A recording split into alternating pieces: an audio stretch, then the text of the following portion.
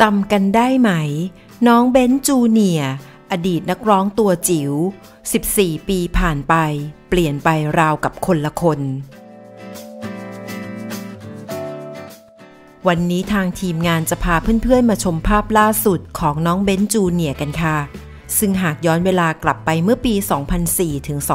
2005 คำว่าสู้โวย กลายเป็นวลีติดปากของหลายคน เพราะน้องออนอุดมพรพลศักดิ์นักกีฬายกน้ำหนักหญิงทีมชาติไทย ตะโกนออกมาขณะแข่งขัน ก่อนที่จะกลายเป็นเพลงฮิตของนักร้องลูกทุ่งเด็ก น้องเบนจูเนียในเวลาต่อมาปัจจุบันผ่านไป 14 ปีแล้ว เธอได้เปลี่ยนไปเป็นอย่างมากเลยทีเดียว เอาเป็นว่าเราไปชมภาพปัจจุบันของเธอกันเลยดีกว่าค่ะ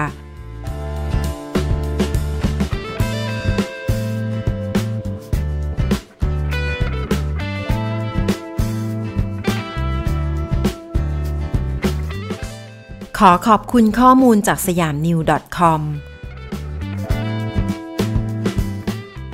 อย่าลืมกดติดตามพร้อมทั้งกดรูปกระดิ่ง เพื่อแจ้งเตือนทุกครั้งที่มีคลิปใหม่ ๆ จะได้ไม่พลาดคลิปของเรื่องเล่าข่าวค้นนะคะ